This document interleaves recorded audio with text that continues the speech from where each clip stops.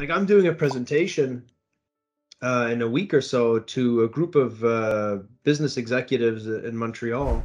And I've spent the last year educating them on what EDI is, how critical it is, and I'm still going. Like I, am I'm, I'm doing this every two weeks for yep. now almost uh, a year and a half, and and there's still so much for them to learn.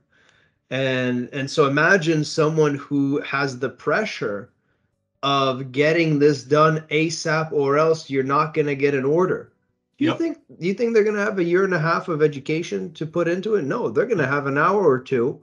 So they need to rely on people who are going to be trustworthy, reliable, responsive, responsible, and and and uh, acting in good faith. And I mean, we can go forever talking about some horror stories, but at the end of the day, it's it's like a gut feeling. And and you might not be that person who has that like emotional intelligence to be able to tell when the deal's too good to be true.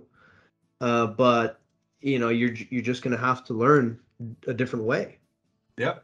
No and and it, and it comes down to again phil it's that knowledge it's that growth i mean I, i've been doing this for decades and i still learn on a weekly if not daily basis of different processes or intricacies that a customer's doing that I'm like, hey, yeah, you're doing Amazon and you're selling retail and and okay, so you you're probably doing things this way. And they go, well, we are, but we have to also do this little wrinkle.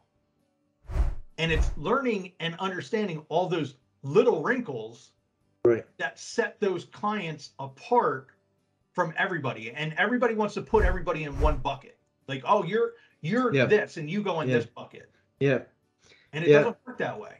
Yeah, exactly. And some like on our website when we put it together, you know, revamped it a couple years ago.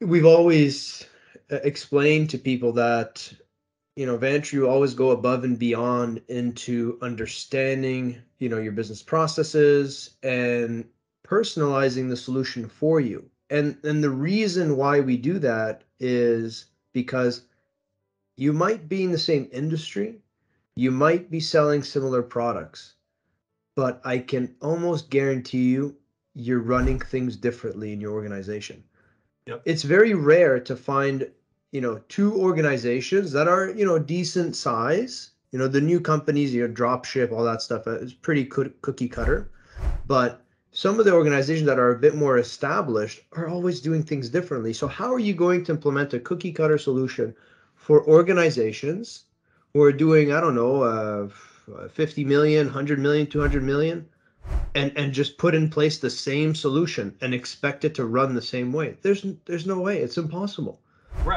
And it, and yeah, and you perfect, perfect, Phil, that cookie cutter is not going to fit a of 5 million to what it fits a 6 billion.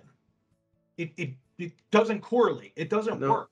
No. Their their level of what they're doing and the moving parts and just the order amounts that they're right. doing don't exactly. even match. Yeah.